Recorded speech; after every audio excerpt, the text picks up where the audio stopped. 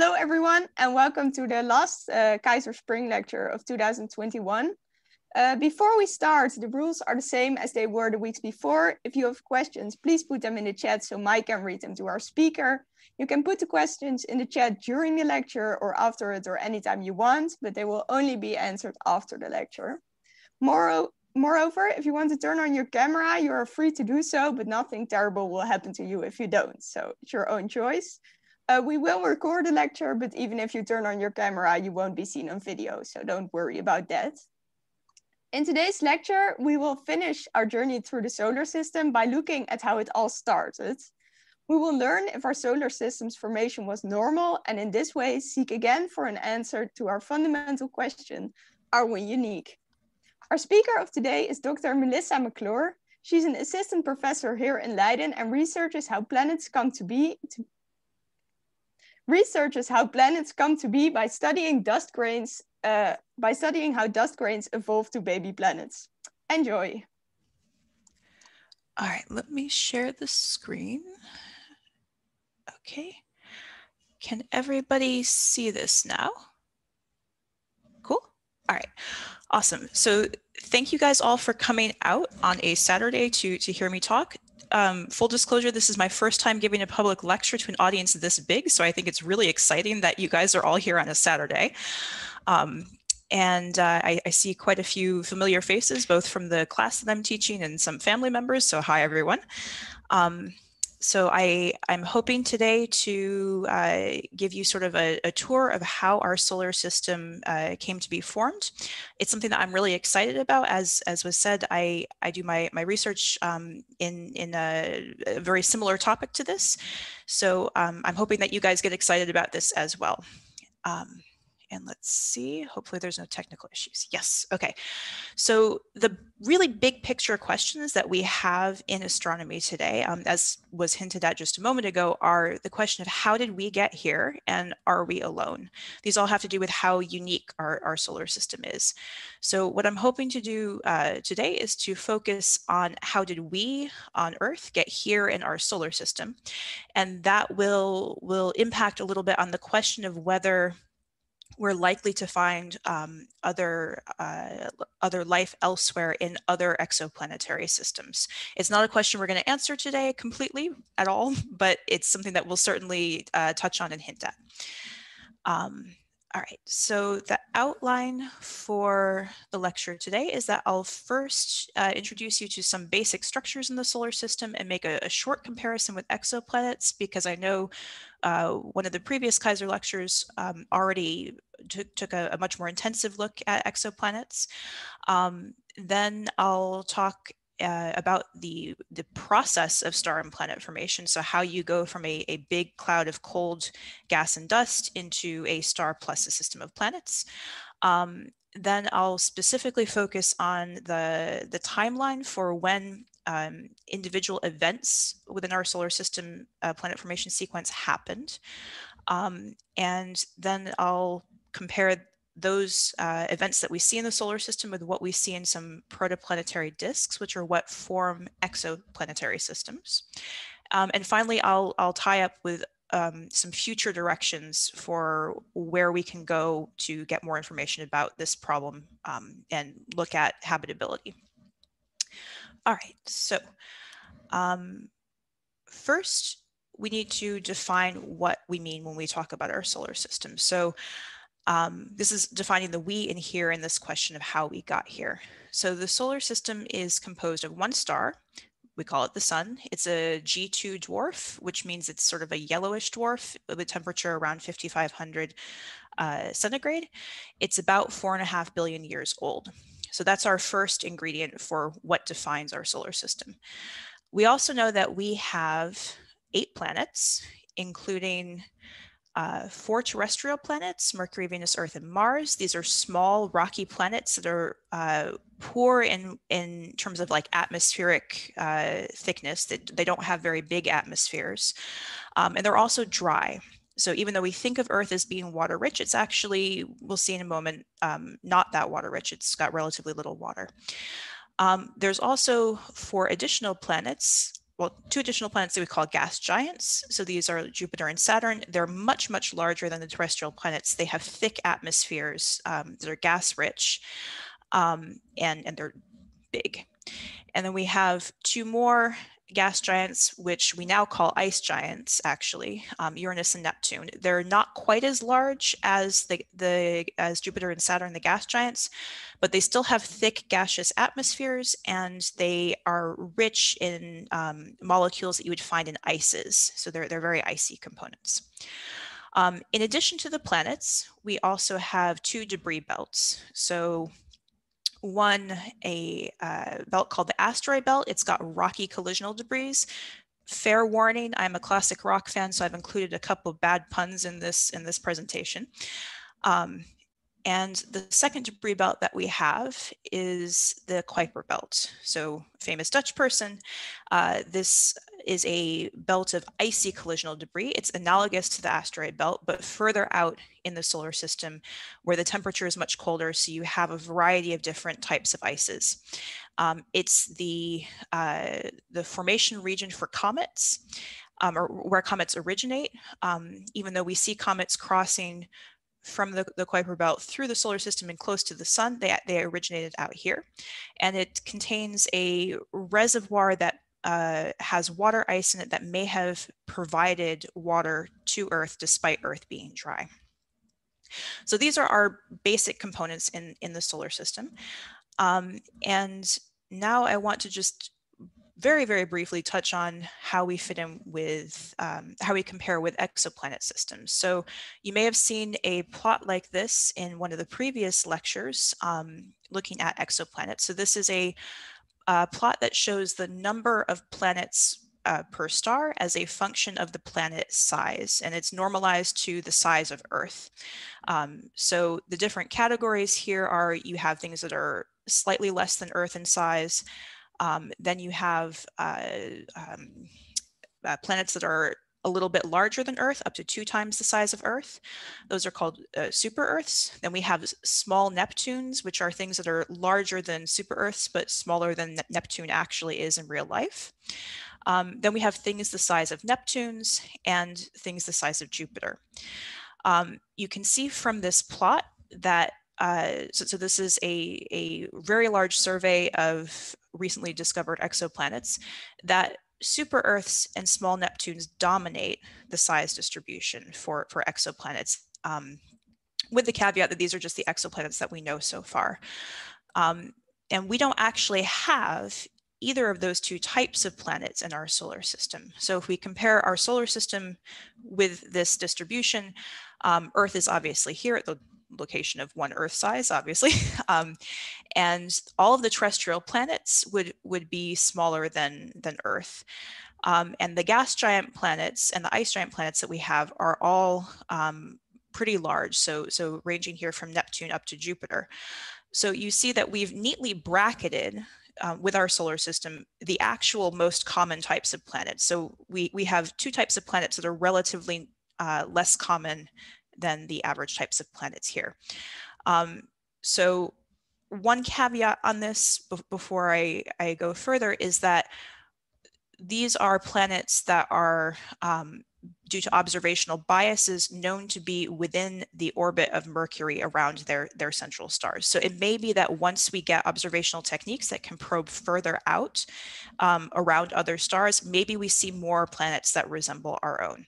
But for right now, this is the sample of exoplanets that we have to work with. So um, we're just going to say for right now that our solar system is not uh, closely similar to most exoplanets that we see.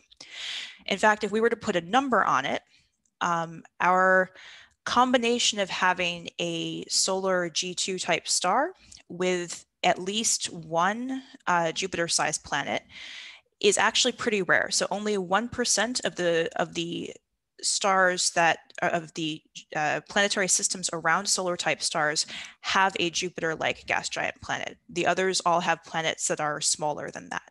So within this context, our solar system seems pretty unusual. And this is a, a kind of radical change for how we used to think about our solar system. Um, we sort of think that the solar system is this nice, classical, calm, sedate thing because it's where we we grew up. So you know it's it's normal to us. Um, but in reality, we may actually be, or our solar system may be a space oddity. This is our, our evolving modern view of, of the solar system. So in order to address the question of why our solar system appears to be different from other planetary systems, we need to consider how did the solar system form? So what I'm going to do right now is take you through a, a, basic introduction to star formation, followed by planet formation. Um, I'm going to define a bunch of terms that we'll use later on in, in the talk. Um, it has lots of pretty pictures. I really like this part, so enjoy. Um, so we know that stars form in dense cold molecular clouds. So if we if we think about the the space in between stars, we have um, what we would call the interstellar medium. That's just all of this space in between everything.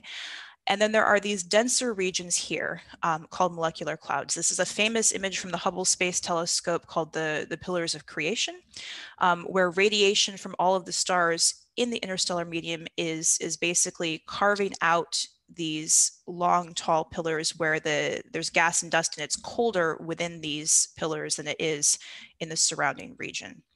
So if we focus in on one region of these molecular clouds um, here, we can see that um, if we section off a particularly dense part of it, we'll, we'll call this a, a prestellar core. Now this is a, uh, a region where you have cold gas and cold dust. Um, and at some point you become, uh, you, you, have the, the temperature in this region cools down enough um, that for the density of the material that you, you have, um, you can no longer support the material against gravitational collapse. So normally you would support it with, with thermal energy and you can't do that anymore. So at some point, one of these cores starts to collapse. We define that from a star formation perspective as our T equals zero for the star formation process. Then that collapsing core will eventually form a structure that we call a protostar. So you have a very young star at the center of this um, there's a an envelope of material that's that's basically feeding that molecular cloud material from the cloud onto the structure called a protoplanetary disk. Um, so you funnel material like this on from the cloud onto the disk. Once it's in the disk, that material spirals in until it lands onto the central star. And that's how the star builds up its mass. That's how you form the star. And this takes place between 10,000 and 100,000 years after you start to collapse your cloud. So there's a, a another stage in the star and planet formation uh, sequence where at some point when you reach about half a million to 1 million years old after your t equals zero, you basically clear out this remaining envelope material. So you've drained all of that mass from that, that uh, prestellar core onto your disk and that mass is still spiraling in toward the central star. By this point, you built up most of the mass of the central star, so it's really only a small amount of mass that's left in the disk. Um, and this is when you start to see signs of planets in, in disks that we observe in, um, in other, other uh, molecular clouds. Um, and this, is, this phase lasts between about 1 and 10 million years. From here, um, then a lot of time passes. So we go from uh, around 10 million years to four and a half billion years. So, so this is like a, a factor of uh, a thousand more. You end up with something like the solar system. So you have uh, a star surrounded by planets. You don't have any gas left in, in this in this disk. It, that's all been dissipated back at this stage. Um, and you have some debris belts. And in this case, you would end up with something like the Earth, where we, we see us now at four and a half billion years from when we started. So in this sequence of events, this is how you form the star. Planets form during this part of the sequence. So if we want to understand how the solar system formed, we need to look at what the processes are that occur in disks at, at this point in time. So I'm going to zoom in on, on this and give a, basic recipe for how you would form planets. So let's say that you, you take that nice pretty picture of a disk and you replace it with this very, very simple cartoon where you have your central star and you have your disk and you've got material that's spiraling in toward the star. Um, this material would consist of both gas and dust, as did the molecular cloud. Um, and the first step in forming planets is that you need to grow your solid dust, dust grains by sort of bottom up, step by step collisions with each other into things that are about one centimeter in size. And we'll call those pebbles. So this is what one of, one of those might look like. Once you have your, your, your pebbles, you need to concentrate them radially at one location. If you're going to make a planet, you need to get the ingredients and put it together where they can actually get in contact with each other. So you radially concentrate material, um, these, these solid pebbles. Then you need to find a way to, to concentrate them sort of in one particular location, not just in a ring. And then you have a cook up a planet. And I'll get back to this momentarily. We're just going to say magic happens here you have some way that you form the planet, and we'll elaborate on that in a moment. And if your planet is large enough, then it may actually uh, grow and carve out a gap in its protoplanetary disk. And this is something that we could observe directly. Um, over time, the once you we carve a gap in the disk, the central part of the disk continues to drain off onto the central star. But because you have this gap, um, any material in the outer part of the disk has a hard time making it to the star. So eventually over time, this material will form some kind of debris belt. And when you drain the material in the inner disk onto the star, you may reveal a terrestrial sized planet. So now I have this cook up a planet step. Let's break that down into a little bit more detail and see what that actually means. Um, so there are different, a few different competing ways that you could cook up a planet. Um, but first, before we go into those, let's let's take a step back and say, okay, well, what what what are the terms that we're going to use to describe how you would cook up a planet? So you have to go when you make a planet from something that's very small, like some of these micron-sized dust grains, up to something that's um, thousands of kilometers in size if we're talking like Earth or Jupiter. So we have these, these different intermediate stages. So we have dust, which is what we saw in the molecular clouds. That's on the, on the size scale of a few microns. Then we have pebbles. Um, this is an example of a pebble that we'll see later in the talk. Those are between one millimeter and one centimeter in size. Pebbles will lead to what we call planetesimals, which are something that is at least a kilometer in size. Examples of those include the asteroids that we talked about earlier, as well as comets, including this comet 67P, which we'll see later in the talk. Um, and then planetesimals will eventually form, or may eventually form planets, and planets are things that are um, on the order of a thousand kilometers in size, and you can either form terrestrial planets or gas giants or super Earths or mini Neptunes, as we saw earlier. Um, so those are the terms that we'll be using in, in this discussion.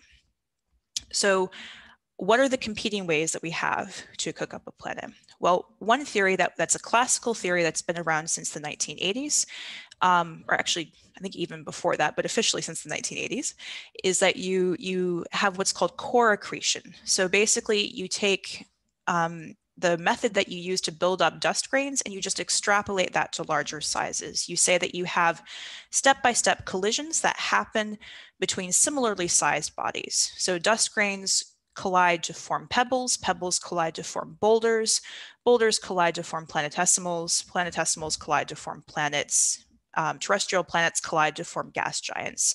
And at some point, the, the planet becomes massive enough that you have a runaway gas accretion process that um, basically uh, accretes the atmosphere of a gas giant very rapidly if you grow that large.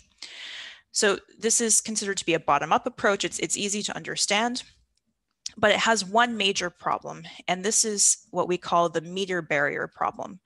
So basically, once you reach things that are a meter in size, if you collide two meter sized bodies, they're much more likely to fragment than they are to grow and, and stick and accrete from that position on.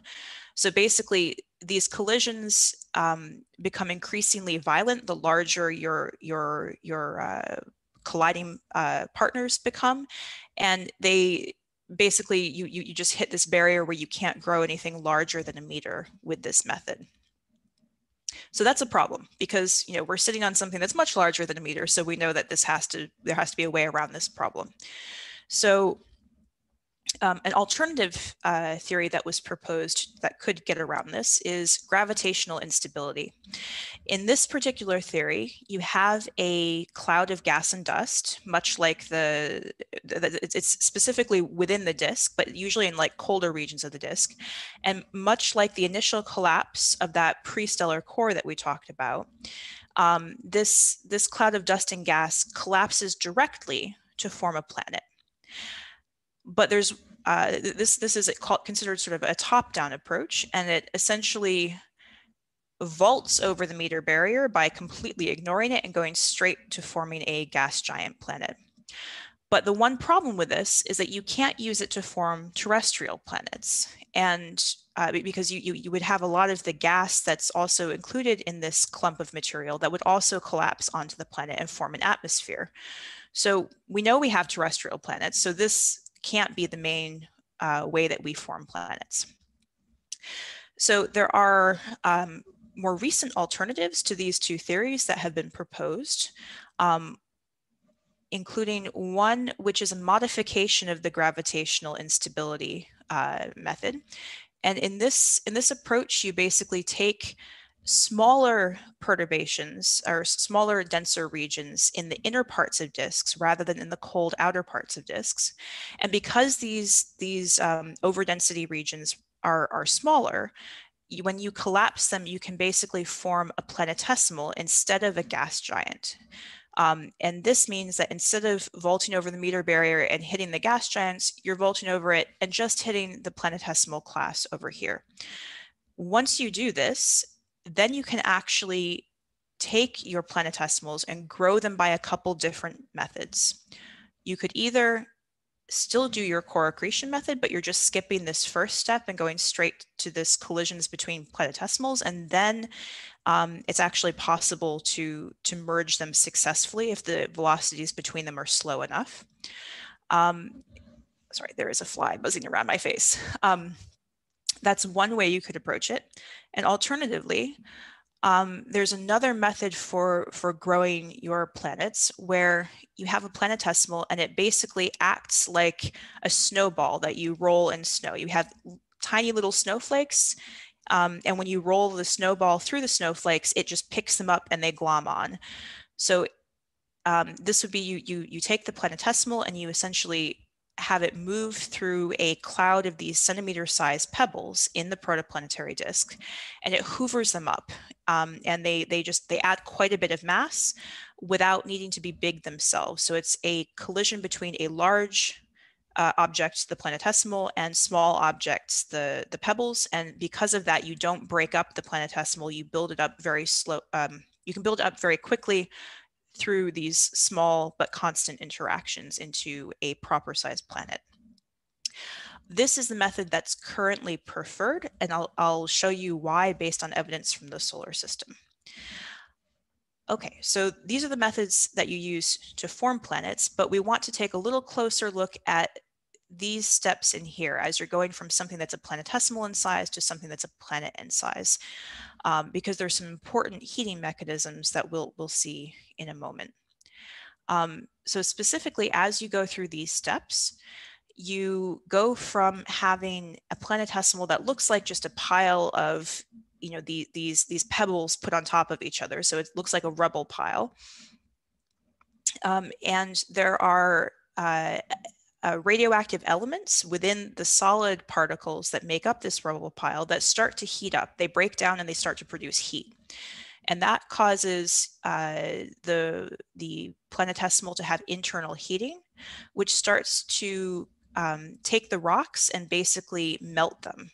So you end up with the sequence of events where you form a magma ocean in inside your planetesimal with a, a, cooler crust on top. And eventually, if the planetesimal is large enough and this heating goes on for long enough, you'll actually um, melt all of the rock in your planetesimal. And uh, basically, the denser materials like iron and nickel, that the metals will sink toward the, the center of the planet and, and basically form a, a, core there. And then the lighter materials, like the, the rocky silicate materials, will float on top of that core. And then you'll have a, a cold, or cooler crust on top of that. So the signature of having a fully formed planet is that it's been differentiated like this. We, we call this this differentiation when, when you when you heat up the, the planet and segregate the metals into the center and the rocks onto the surface. Um, and it's important uh, to see this sequence because we can use this sequence in our own solar system to see when this when these different formation um, or when these different stages occurred. Um, and that's because each of these stages produces um, different types of fragments. If, if you disrupt the, the planetesimal as it's forming, I'm going to get this fly at some point, um, then uh, you, you, can basically have fragments that will fall to Earth as meteorites, so shooting stars. Um, when you have the unprocessed rubble pile and you take a fragment of that and send it to Earth, then it's what we call a chondrite. And we'll again see this in a moment. It's this sort of mixed uh, mixed texture. It looks like you just took a bunch of, of pebbles and sand and stuck them together. Um, as you start to differentiate the, the planets and then fragment them, you get um, meteorites that come from different regions of the planet. So there's this, uh, this type of meteorite called an iron meteorite, which is a sample of planetesimal cores or planetary cores. And then there's another type of meteorite called an achondrite, which comes from this rocky or rocky silicate rich crust or, or, or mantle.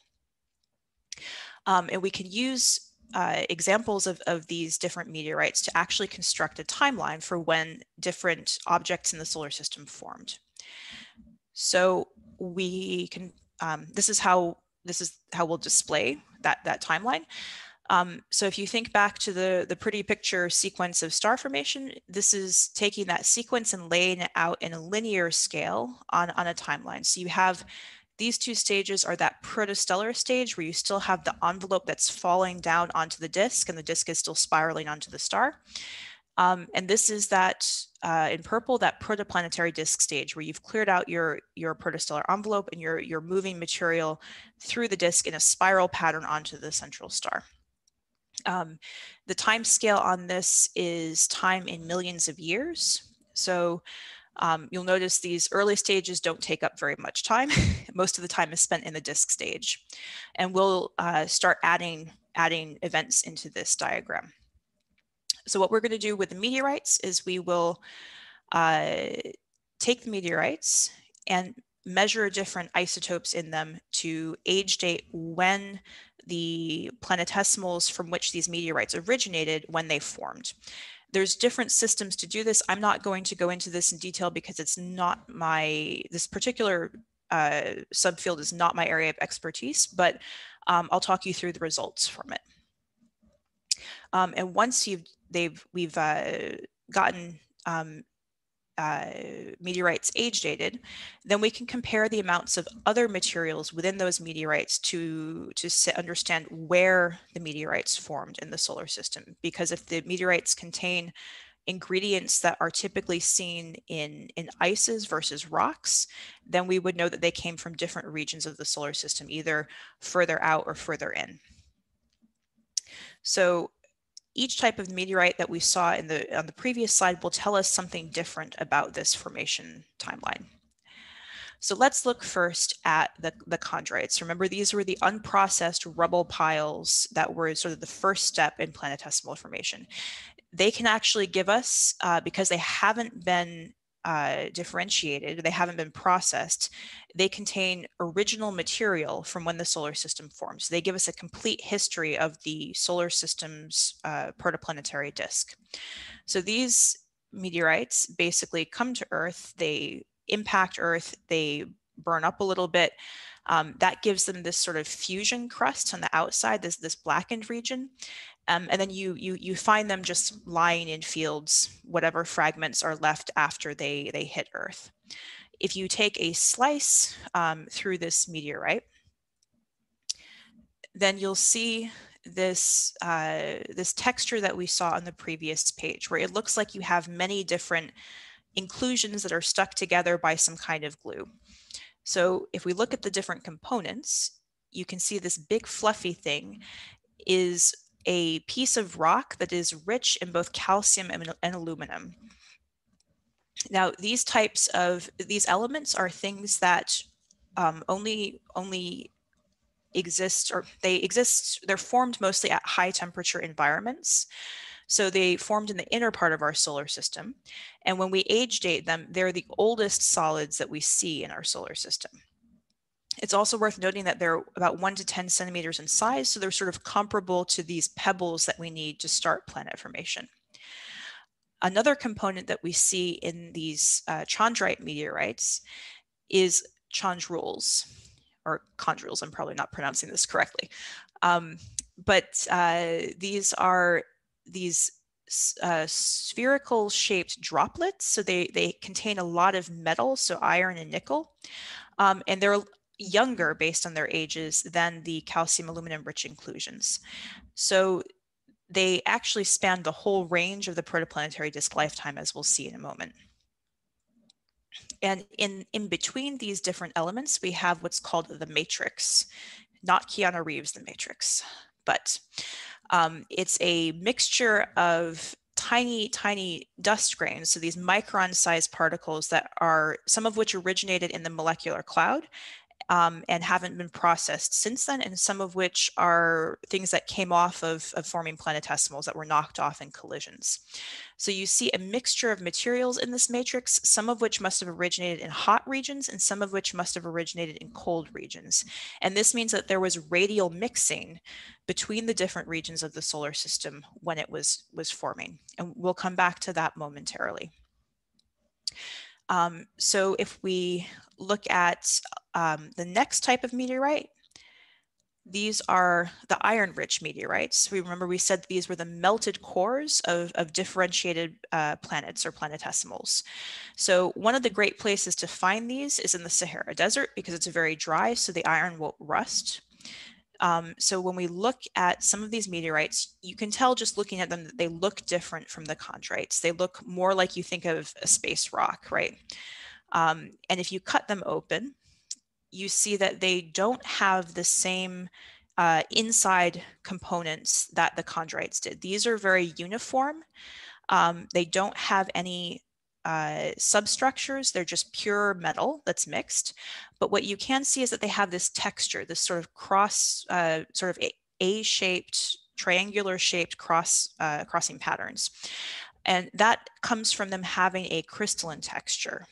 And that means that they must have been melted at some point and then cooled um, within some specific time frame, which is a, a signature of them coming from a, a differentiated uh, planetesimal or differentiated planet. So one of these heat processed planets.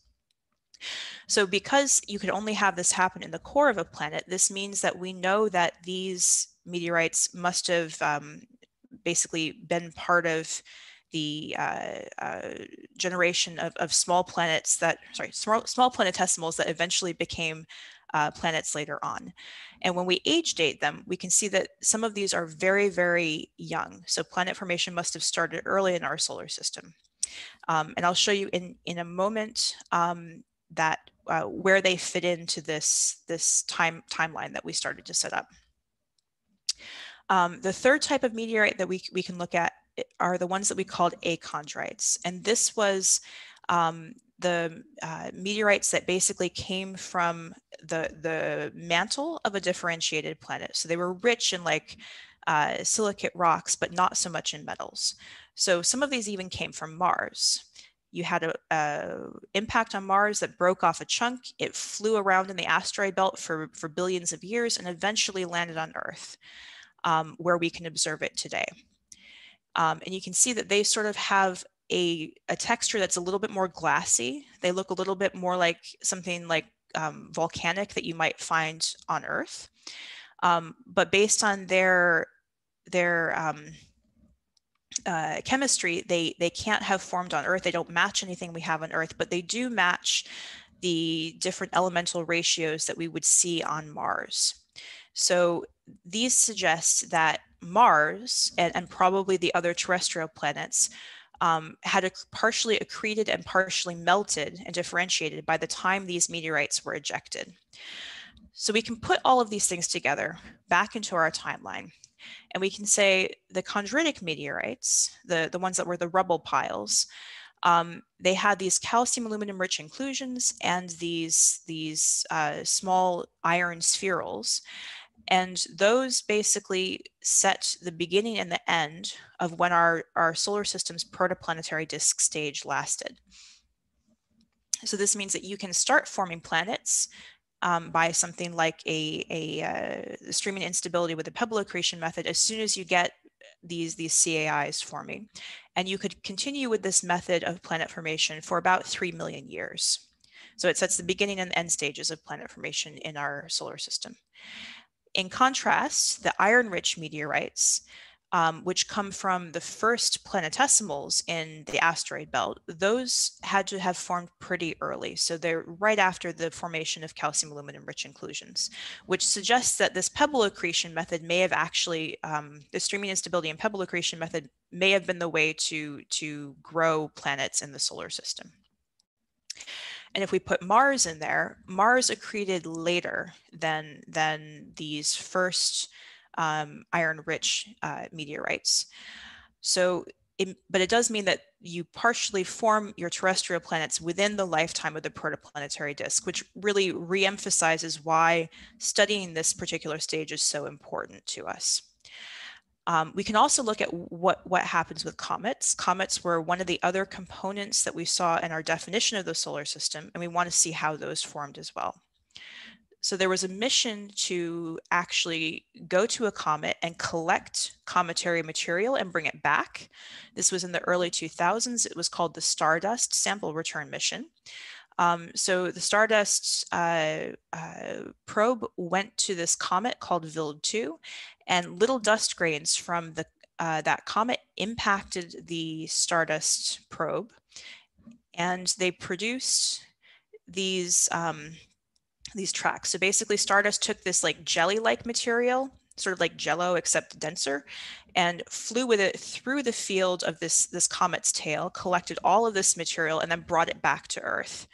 Um, so these sort of uh, frost-like features, these long tracks, these are where a dust grain um, entered the, the gel on this side and then traveled through the material and ended up over here.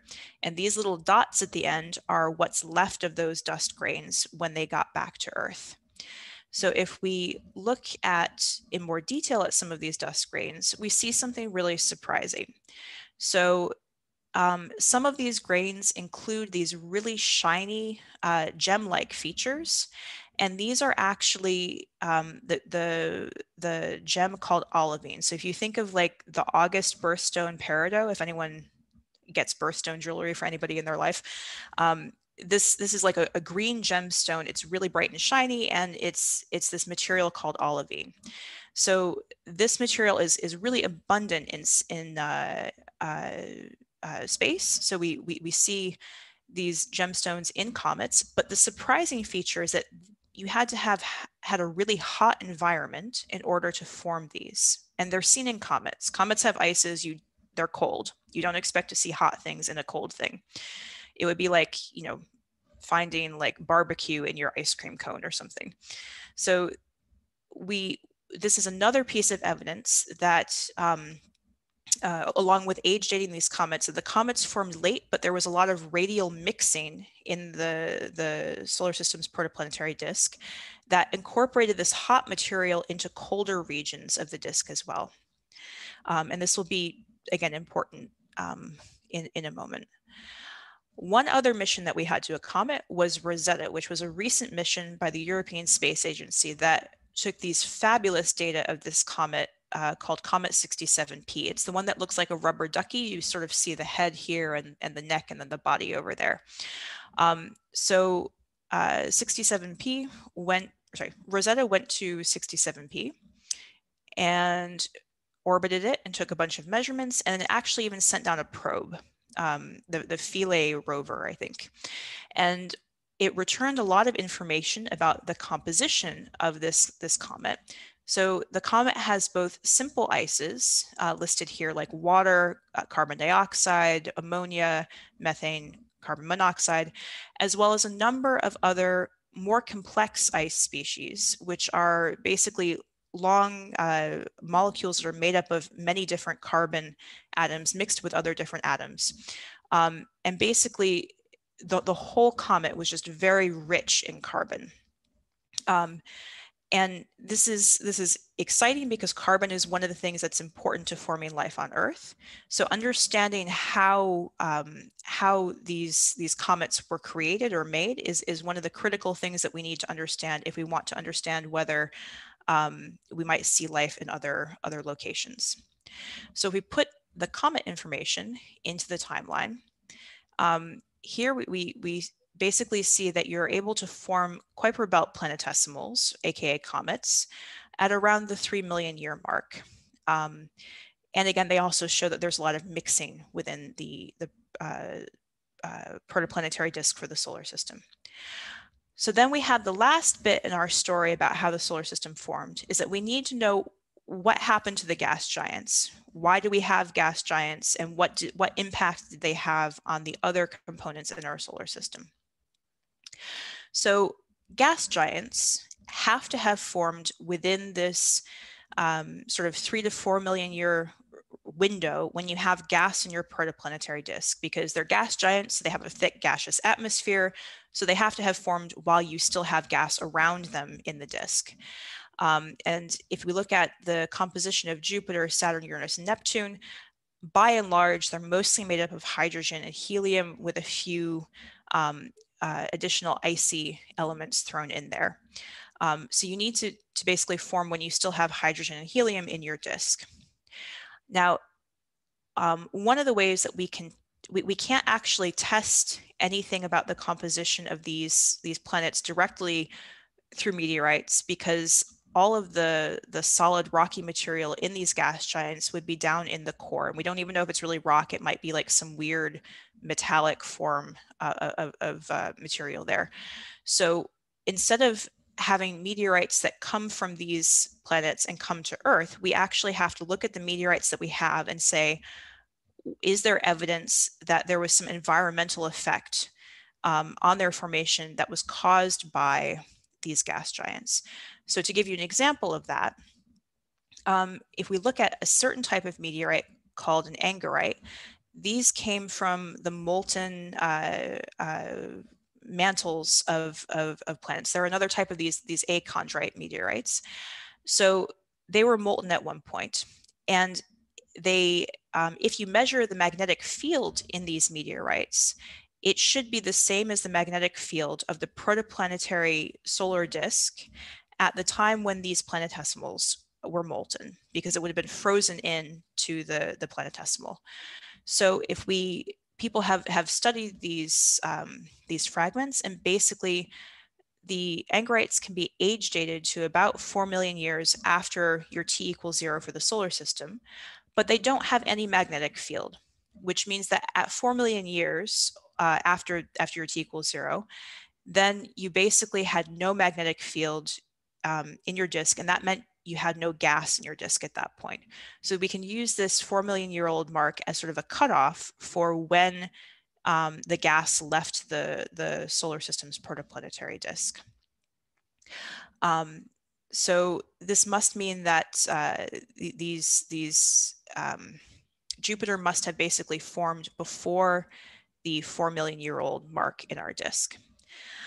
So one might then ask the question, okay, so that's the end of when Jupiter started forming, but when did it start?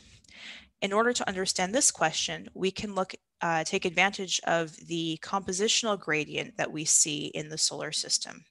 If we go back to this picture where we have all of the planets lined up, um, then there's a sort of general trend that we see where you have warmer materials, or sorry, the, the, the um, terrestrial planets are dry and don't have uh, much water or, or, or, carbon or things like that in them. And they're also in a warmer region of the disk. And the uh, gas giants and ice giants are have more ice material in them and are in a colder region of the disk.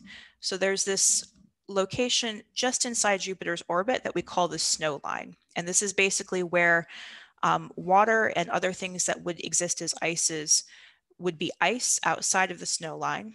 and they would be in the in the gas in the disk inside of the snow line. It's similar to the effect that you see if you look at a mountain where where you go above a certain elevation, you suddenly see snow. And when you're below that elevation, there is no snow because there's a temperature gradient going up the mountain. Um, so we, we see that effect in the, the solar system. Um, so if we look at uh, now um, Jupiter, so, or sorry, if, if we look at the, the timeline for which Jupiter would have formed, before Jupiter formed, you would have had all of this mixing going on in the, the solar system disk. So remember, we saw evidence in the comets and evidence in the asteroids that there was radial mixing. But then at some point, um, we look at uh, meteorites that are a certain age, and they show two different populations, and those populations didn't mix at all. Um, and this we, we can see this with the iron meteorites. Some of them are carbon rich, while others of them are carbon poor.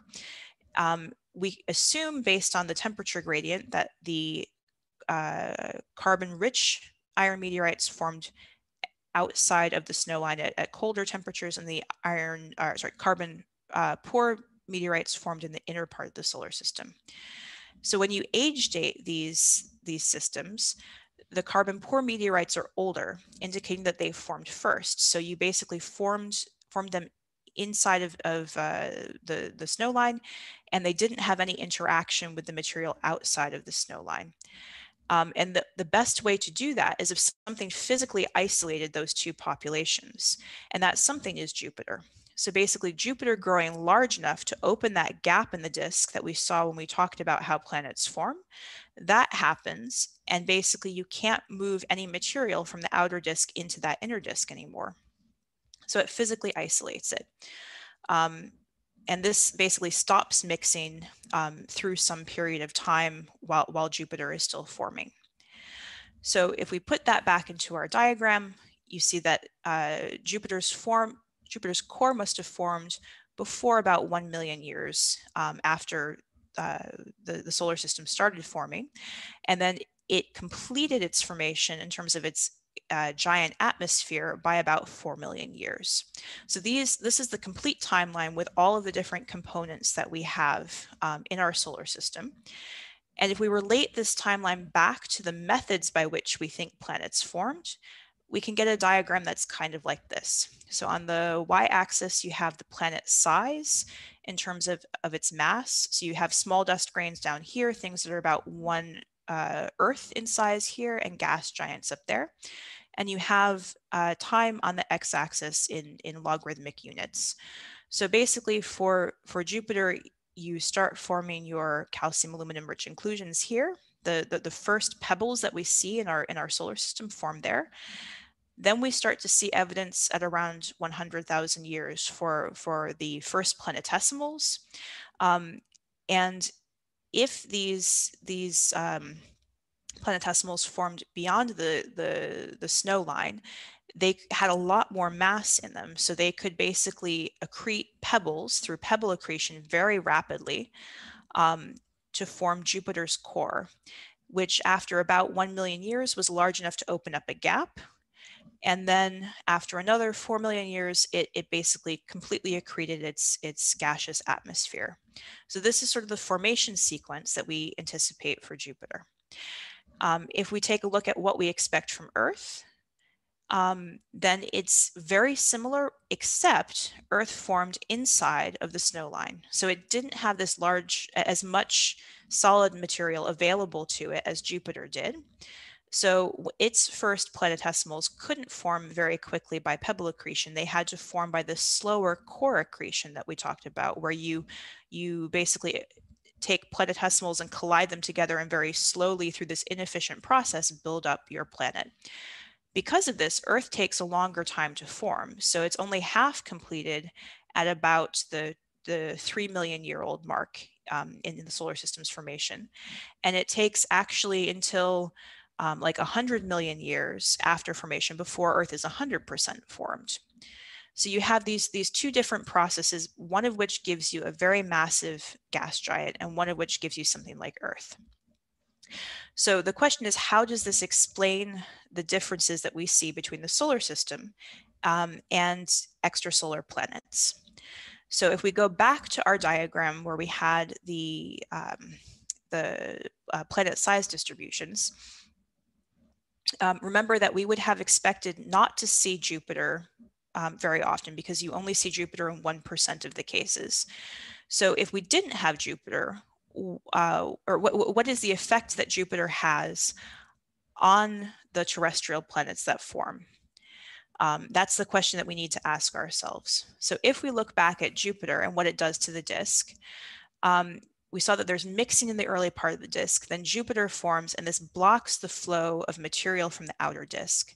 So essentially Jupiter creates this gap in the disk and at this inner edge of the gap, that effectively acts like a sieve. So if you take a bowl, um, if you take a pot of boiling pasta and you want to, to empty the pasta um, into the sink, so you dump it into this sieve, you'll basically collect the solid pasta there and let the the water drain through but no no pasta is making it through into the sink so if you have something in your sink that wants pasta in order to eat it, it's going to be starved basically because you won't you won't be getting any pasta through that so because of this earth remains small um, and uh, yes so earth earth is starved it remains small um, and doesn't grow into something like a super earth in size. Um, one effect that this would have is that this may explain why you have so many gas giants in the outer disk because there's more material from them to form. You could easily start to form another gas giant here and have it rapidly form into something like Saturn, and then do the same thing at the edge of Saturn's gap and form Uranus or Neptune going out. Um, and one other effect that it should have is that because you don't have this mixing between the carbon rich outer disk and the carbon poor inner disk, Earth should be poor in, in carbon and other elements that you would typically find in ices. And so we can actually look for this if we, if we uh, study geology. We can see what the composition of Earth is. And in fact, Earth is actually missing carbon. So Earth is mostly composed of, of iron and other rocky elements that take up 99% of, of its mass. And this includes oxygen because you can see oxygen um, in rocks as well as in ices. But the other elements that would include carbon make up less than 1% of the mass of Earth. And if you take all of the objects that we've been looking at, comets as well as asteroids and Earth, and you put them on a, on a scale where you look at the amount of carbon that they have as a function of their distance from the sun, um, and you fit a trend line to that, you can actually see that Earth has less uh, carbon than you might predict just on the basis of the, the comets and some of the, the asteroids, which argues in favor of Jupiter basically cutting off its supply of, of fresh carbon from the outer disk. And carbon's really important because it actually is one of the the uh, it makes up like nine and a half percent of our of our body so it's it's a really important uh, element for life and this the fact that Earth was cut off from carbon may have changed how life evolved on Earth, or like how how quickly life occurred on Earth, the form that life took, things like that. Um, so it may have actually required that we had uh, carbon delivered via an asteroid or cometary impact with Earth in order to, to have life start. Um, and if we think about what this means, the fact that Jupiter uh, basically caused Earth to form the way it did, what this means for other um, planetary systems. So if you don't have Jupiter, then you might be much more likely to have something like a small Neptune form instead. So suppose you don't form Jupiter, you form something smaller then that smaller thing won't create as big a gap. So it will be much less efficient at keeping material back from the inner disk. So any terrestrial planets that you form might actually form larger than Earth in a shorter period of time, and they would might might be more likely to form carbon-rich super Earths. Um, so this can sort of explain why these two categories are much more frequently seen in exoplanet surveys. Um, and it leaves one important question, which I can't answer here, but it's an important thing to think about. And it's something that will be interesting to see in the next uh, few decades. What would a carbon rich planet mean for life, or a more carbon rich planet than what we see on Earth? Would it mean that life arises easier? Would it mean that um, that you, yeah, I, I, don't, I don't know what it would mean, but it would be definitely something that's interesting to think about. Um, and a lot of people who do astrobiology are thinking about it. Um, so briefly, if I still have a little bit of time, um, let's take a look at how the solar system's history compares with other uh, the, the history of other planet forming disks, basically. So we know if we study other disks that we can see uh, gaps in these disks, even at fairly young ages. So this is an example of a disk called HL Tau, which is in one of the nearer star forming regions to us in, in Taurus, and it has these gaps and rings. Um, it was observed with this telescope called ALMA, which is this fan fantastic set of, of over 60 different radio dishes that observes in the Atacama Desert. It looks at radio or submillimeter to millimeter wavelengths, which are close to radio, and it maps cold gas and pebbles in protoplanetary disks. So if we look at the sample of disks that ALMA has looked at, we can see that 33% of these very young disks at these ages have uh, pebbles already, um, which could indicate that they are ready to form planets. And if we think that Jupiter needed to, to form early in order to get to the size that it did, rather than forming a small Neptune, this is a critical element of, of making sure that we can form Jupiters. Then this also means the flip side of this, that 67% of young disks can't form Jupiters. So these disks might be more likely to form something like a small Neptune and a super Earth combination, um, which could start to explain why you see this bias toward these, these mid-sized planets. Um,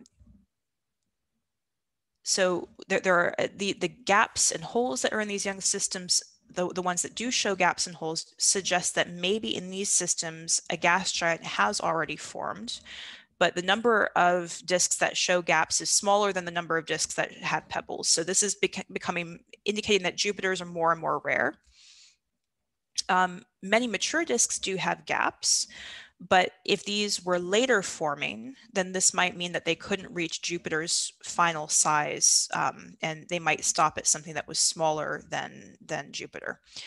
Um, there are also mature disks that don't show any gaps or rings, and it's not clear at this point whether this is because we just haven't looked hard enough for them. Like we, we haven't observe them with high enough uh, image quality with ALMA to be able to, to detect these gaps or rings, or maybe they actually are smooth and they're just forming super Earths and we wouldn't expect to see any rings.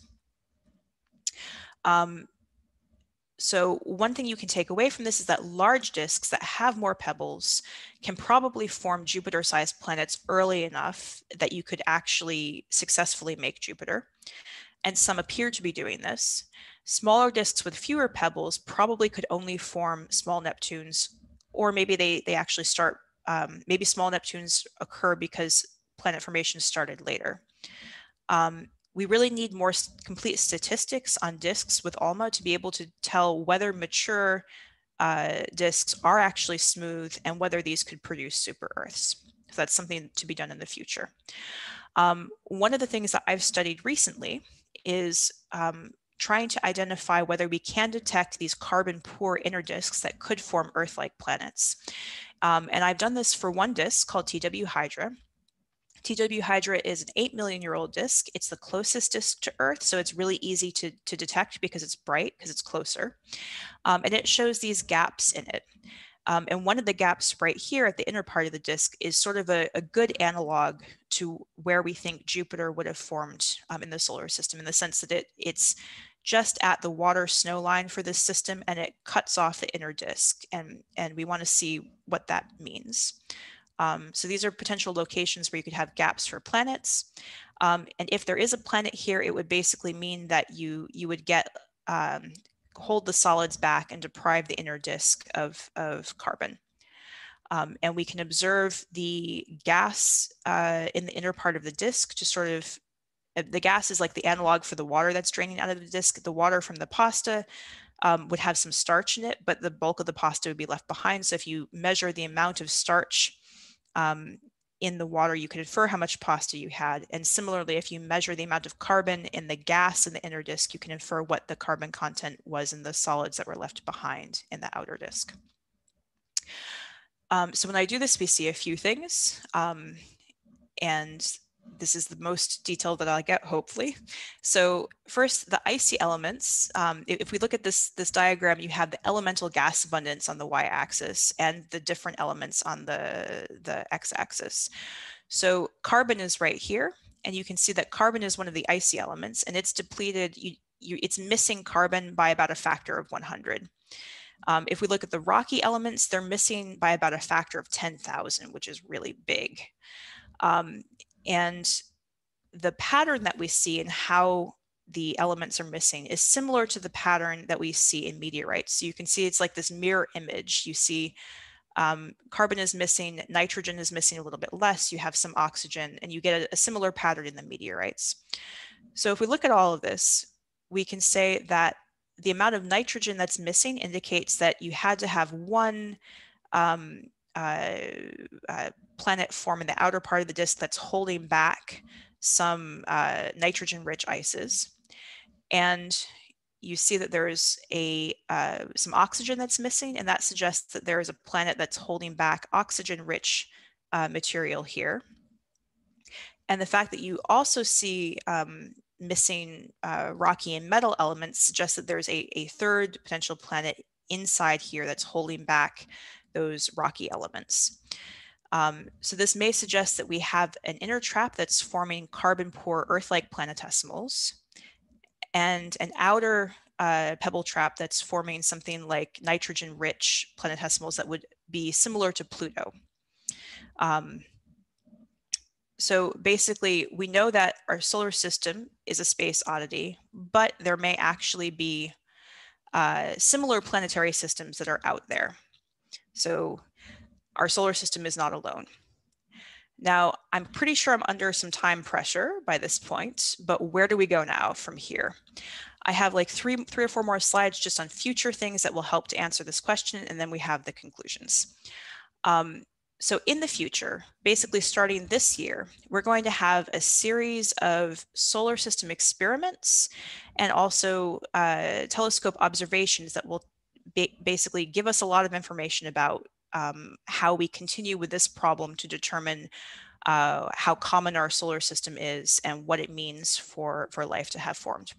One of the things that will happen this year, actually it already happened last year, was that um, the uh, Japanese Space Agency sent a probe to a uh, a very primitive asteroid and it scooped up a sample and came back. And that sample arrived back on December 5th of last year. It was like one of the few good things to happen in 2020 was this probe coming back and, and successfully delivering its material.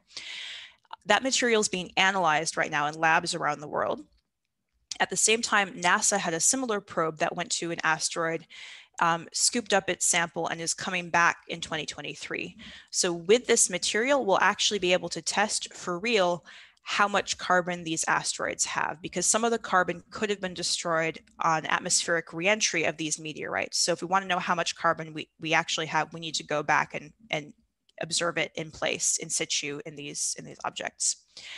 Um, the other development will be that the James Webb Space Telescope will launch this fall. And James Webb is a joint NASA, European Space Agency, Can Canadian Space Agency infrared telescope. Um, it launched in October on Halloween, trick or treat. Um, it has a five to 10 year lifetime. Um, and there's actually a lot of uh, Dutch astronomy that's going to be done with this. So I'll just highlight um, a few a few programs from from Leiden University where, where I work. So there's guaranteed time that will go to studying uh, gas and dust in protoplanetary disks that's led by Ewine van Dishoeck. And I have a set of three programs that will all try to answer the question, how do uh, icy materials that form in molecular clouds get into comets and what does that mean for, for planets that form using these materials? Um, so it will answer the question, how much ice are comets born with? And um, these gas phase observations from the guaranteed time program will um, answer the question of what material like water and carbon ends up in the terrestrial planet forming region. So to observe these ices, we can basically use, um, look at cold things um, that are sitting in front of hot things. And then the cold things will create an absorption feature in the light that, that comes through from the hot thing behind it. So basically these dips here in, in the spectrum all correspond to different ice species. So we can observe these kind of uh, uh, basically brightness as a function of wavelength uh, spectra for molecular clouds, protostellar envelopes, and disks, and then use that to trace how much ice we see at each of these stages right before the ice gets incorporated into comets. Um, and if we zoom in on this part, the inner part of the disk, the terrestrial planet forming region part of the disks, we see that we'll actually be able to detect in the gas phase these uh, sharp spectral lines, and these correspond to, in some cases, water and carbon dioxide. So we'll be able to see how much water and carbon dioxide exist in the gas in protoplanetary disks. And if we take that in combination with observations of exoplanet atmospheres, like they talked about one or one or two Kaiser lectures ago, um, you can actually observe exoplanet atmospheres when they when they transit or pass in front of a star and you get these uh, features that have similar absorptions in them due to water and CO2 and, and methane. Um, and note again, water and CO2 are both part of this. So we can make a direct comparison between the water and CO2 that we see in exoplanet atmospheres and the water and CO2 that we see in protoplanetary disks to say something about where these uh, these planets were when they formed their atmospheres. Um, and this will even be possible for super Earths, like, like this example here, with the James Webb Space Telescope. So we should get detailed compositions of super Earths to see where they formed.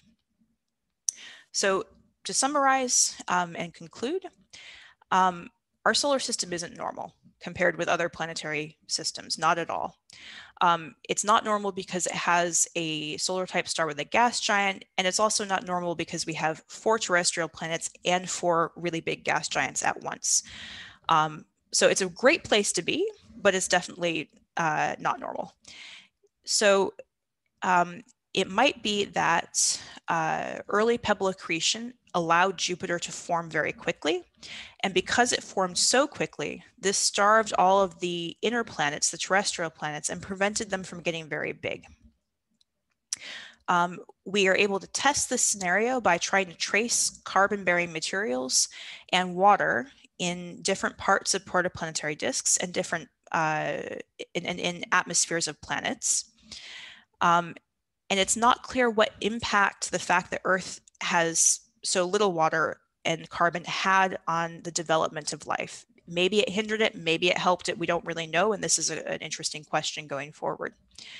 Um, we're starting to build evidence that there are similar processes to what happened in the solar system that are at play in external protoplanetary disks. Um, so in the case of TW Hydra, we, we see that there are um, signs that you have this massive gas giant, small terrestrial planet potential dichotomy going on. So it could be like the solar system.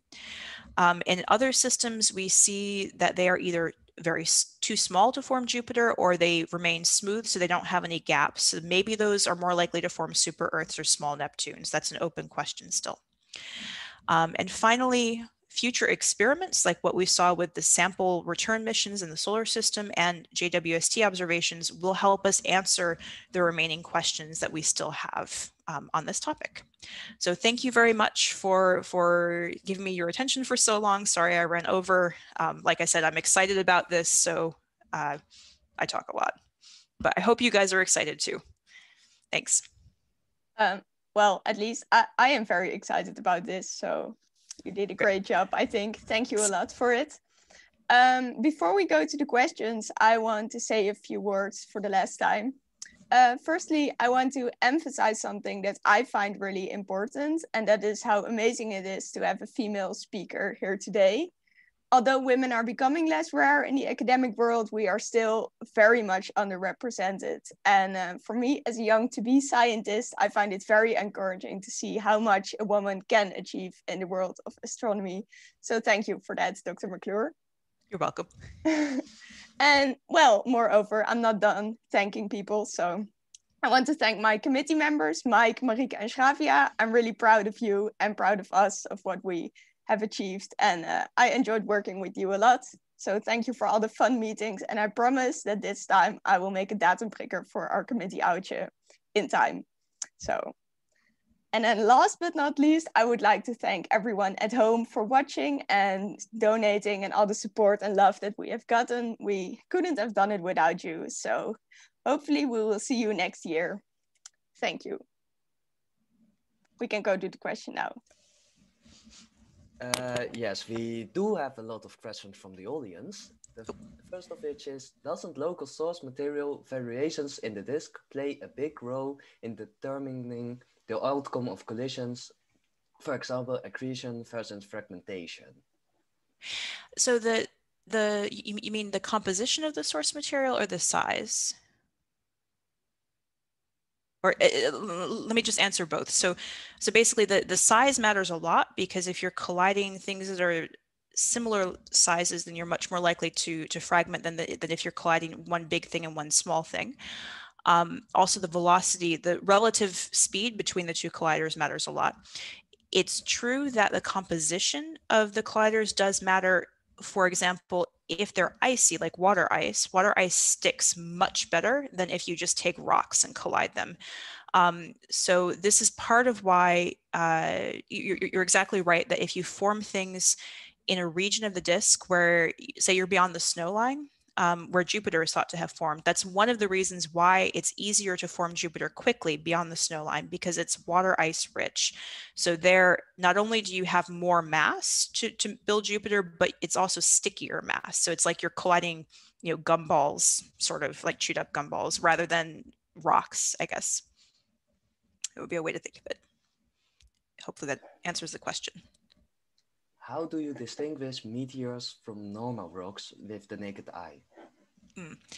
So in the case of the iron-rich meteorite, you know, it was it was kind of obvious that it had like this sort of um, smooth but a little bit pebbly metallic outside, like it just looked different. Um, but it's really hard for things like the the achondrites and also the chondrites because unless they have a thick fusion crust from from burning up in the atmosphere it can be difficult to distinguish them.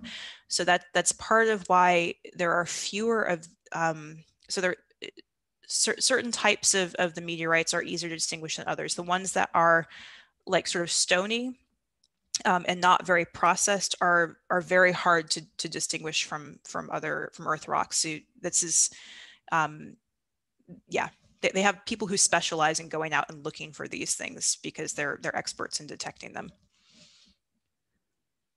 Whenever meteorites travel through the atmosphere, they react with oxygen and start burning, increasing the heat of the rock. How much could this process potentially affect the chemical composition of the meteorite? So I'm just going to say I'm I'm not my area of expertise is not specifically in meteorites. So the the degree it's absolutely true that this does affect it and this is part of why these sample return missions are so valuable because we want to actually like they they go to the the asteroid they scoop up really original material it's stored in a, a controlled temperature controlled environment and brought back to earth and we analyze it there without having anything burn up. So that's like good that's the gold standard for for this kind of analysis. Um, it's it's absolutely true that with meteorites you always have this uncertainty about whether there was alteration that happened in the atmosphere. There are presumably tests that you can do to compare the ratios of different elements and the ratios of different isotopes of specific elements to, to check how much processing there was but that's not my my subfield how do you determine that a planet has fully stopped forming? Don't they always keep on changing in some way and thus are never really done? Yeah. So for for the gas, this is this is true. You you you can absolutely like continually add more material um, onto planets, and in fact, we do. There's this period in our solar system's history called the late heavy bombardment, where you have a bunch of like asteroids and comets that just hit the planets one after the other and cause these big craters on them. So you're never really done. But there's a point where where you're basically you're not gaining much more mass and each of these impacts actually um, has the potential to remove more mass than, than it adds um, and that's that's sort of what we're talking about with the terrestrial planets when we set like 100 million years after their formation as the limit to when they've formed 100% of their size. For, for the gas giants, it's pretty clear that once you, you remove the gas in the disk, which you can do by draining it onto the central star or blowing it out back into the cloud, um, that once you have no more gas, that's sort of the end of when you're forming your planet's atmosphere. Um, so there's a much harder cutoff there. Does the formation model include consideration for particle slash grain rotation spin velocity in addition to mutual orbital velocity for collisions? Um, which, which mod? I mean, so in terms of the pebble, so yeah, so there there are certainly numerical models that will take all of these things into account and um, produce some predictable observations. Uh, so I, I, think the answer to your question is yes, that's taken into account. Um, it's it's much more detail than than I than I want to get into here. What can we expect to learn from the from research on this topic in the near future? So I, I think what we're going to um, that was what I was trying to to get at with the the, the future observations uh, section. So I think we know a lot about the solar system already, but but as as we said, there's this caveat that um, that you really need to go and actually absorb observe the the primitive materials um, from the asteroid without having it travel through the Earth's atmosphere. So having these sample return missions will, will be huge for our understanding of what the actual gradients are chemically in, in the disk. Um, and in the next few years, I think we're going to have um, first an assessment of how much ice we actually see in protoplanetary disks. This is one of the things that my group is working on through the, the JWST programs that I have. Um, and we'll also see in a, again, a small sample of disks, um, whether it's likely that the terrestrial planet forming region um, was, was actually whether it had carbon and water in potentially in solids like baked into the rocks or whether they were really only available those elements are really only available to um, to the forming terrestrial planets through through the the gases in the atmosphere in which case we need cometary delivery. So we're going to have a really complete inventory of both the dust and gas in the terrestrial planet forming region coming out of JWST so those will be really big things um, in the next few years. And then if you look at the targets for JWST for exoplanets, um, most exoplanets that have been characterized right now are, are these very large Jupiter planets that are close to the central star, so hot Jupiters. And they're not really that applicable to like formation of life questions because they're hot and they're gas giants.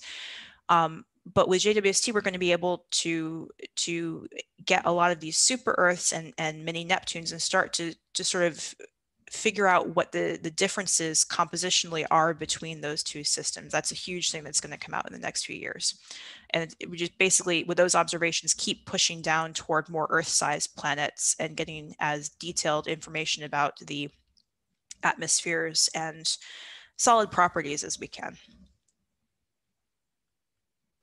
Uh, is Mars more rich in carbon than Earth? Um, so this is something that, that this is an interesting question. Um, we actually, so I, I sort of glossed over this a little bit. Even with Earth, we don't really know the complete carbon content of Earth because some carbon can actually make it into the, the core by chemically binding with iron. Um, so generally speaking, when you look at the, the mantle and the crust material, Mars has a little bit more carbon content than Earth. Not a whole lot, a little bit. But there's this question of whether, like, you could hide a lot of carbon in the core. And that's something that's very hard to take into account. It's really an open question right now for, for geophysicists. Most orbits for, planets are elliptical. Why do the orbits of the 2B planets in the protoplanetary disk look circular? Uh, so, okay. You mean in the in, in the assuming you're referring to TW Hydra with that that very circular ring system. Um, so generally speaking, having the gas in the disk actually damps down the eccentricity of solid particles that are moving around. So most of the eccentricities that you would see in planets are thought to have arisen after the gas disk went away. Um, so that's that, and, and, even within disks, you can see a little bit of, of eccentricity sometimes, but you need very high resolution data. But they're they're fairly circular because of the gas. Uh, how much of the bias in exoplanet statistics due to the inherent sampling bias, says in the observation techniques, part of what makes our solar system seem not normal? I, I, think it's it's probably a big bias. So as I said on that one slide, um, the the distribution that we we had on that slide was specifically for planets that are um, observed to have orbits that are less than 100 days, so within the orbit of Mercury. And this is due to the, the way that we observe these planets. So we mostly have to observe them in edge-on systems because then they have a higher radial velocity signature or they pass in front of their star and we can transit and get information on them that way. So um, for planets that are further out, um, we we don't really have a good handle yet on their properties. We haven't detected as many of them, and they're they're harder to observe. So I think there is a, a pretty big bias here. Um, and that's part of why studying protoplanetary disks is such a useful tool because those come in all different inclinations. Um, and we can see there, if, if, if we find a way to basically calibrate the signatures of planet formation in disks, then we can get more information about the planets that are further out than we could get from observing exoplanets. Will it be a matter of months or years after launch of the James Webb Telescope before you expect breakthrough results? I think we're going to have breakthrough results in cycle one. So, so basically, cycle one starts. There's a six month commissioning window, and then we start getting science back um, at that point, and cycle one lasts for a year. So there are um, it depends on whether you mean breakthrough results specifically for, for the, the questions raised here or whether you mean in, in general. But um, the programs I mentioned are going to be observed in cycle one. So we should have these results back within 12 to 18 months after uh, the start of science operations at the six month mark. Uh, is late stage giant planet migration, like in our solar system, something believed to be common in other planetary systems? Yes, it is. Was there a follow up on that? Sorry. so the the the um the, the answer is that we see signs of migration um, in the final positions, the semi-major axes of many different types of planets in, in mature exoplanet systems. So there's these for example, the, the um, uh, there's systems systems of tightly packed inner planets or STIPs, if you ever see that acronym, which are essentially systems like the TRAPPIST-1 planetary system, where you have multiple super Earths and mini Neptunes um, stacked very, very closely together within the orbit of Mercury. Um, and these are thought to have been the result of migration of, of these planets that formed further out at the water ice snow line or just inside the snow line. And they migrated in and then basically stopped at resonance positions with the innermost planet. Um, so you see uh, this, this is a signature that you see in, in the large samples of observations that, that we have for exoplanets. Okay, I believe we are done with the questions. Cool. All right, thank you guys for asking them. This has been really fun. Uh, yeah, thank you again for taking your time to answer all these questions and for the people interacting.